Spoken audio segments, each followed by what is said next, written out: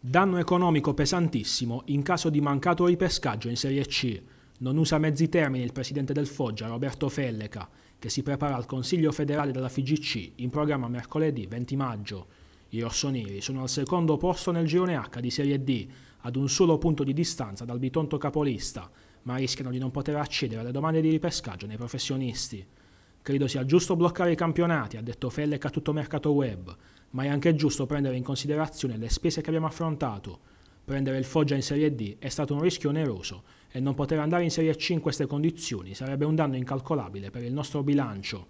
La stagione del Foggia è stata travagliata, dall'inizio in affanno post fallimento all'approdo di Ninni Corda in panchina, con momenti di difficoltà che però non hanno precluso un posto nella lotta per la promozione diretta.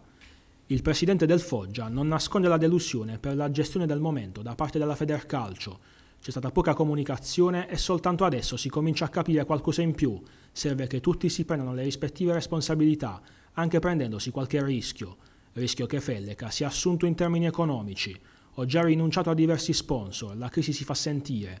È un grande dispiacere perché credo che avremmo vinto il campionato e avremmo potuto fare grandi cose in futuro.